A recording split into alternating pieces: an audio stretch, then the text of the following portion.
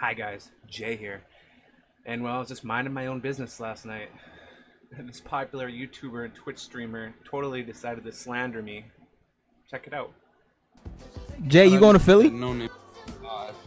If he's in Philly, I'm showing up and I'm slicing his. Ooh, My man's Jay will beat the piss out of you, bro. I am literally on that nigga head. I'm coming to Philly to watch you get beat up. And then, and then he said that I'm really, really scared of him, and I would never say anything, anything at all, to his face. Jay, check Like, I- in, bro. I'm record. I guarantee you, he say nothing to my face, bro. I guarantee. I'm gonna show you how these niggas are, bro. You're such a clown. I, Jay is probably one of the only people in the community that'll probably say it to your face. he won't. He? He Jay- sits in a room with hedgehogs. Come on, bro. Jay, check in, bro. Forget that Jay's a bounty hunter for his job. Yeah, Jay Jay would be absolute spit on you. I think Jay would literally sit you down and stick his dick in your mouth in front of everybody. Not gonna lie.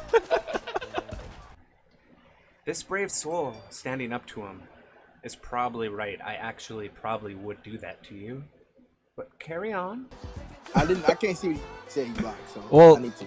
J Mo, I'll read it to you. He said, I'd take you down, handcuff you, put my nuts on your face, and Pop tell you how these pimple on bots your taste. body.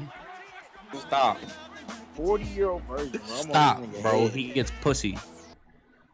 Now, J Mel, there are many things you can do. You can call me all the names in the world, but never make fun of my hedgehog. And so now, this is my response.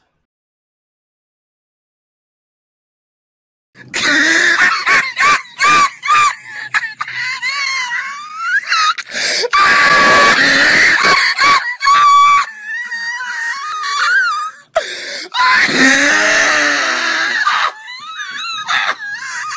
my gosh! Oh